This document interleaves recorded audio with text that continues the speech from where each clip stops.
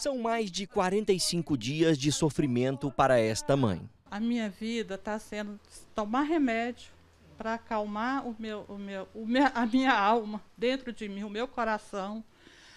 E choro, choro até dormir, até dormir, porque eu só e oro muito para Deus, para Deus dar uma, uma posição para saber onde esse meu filho está, porque ele não é disso, ele não some assim.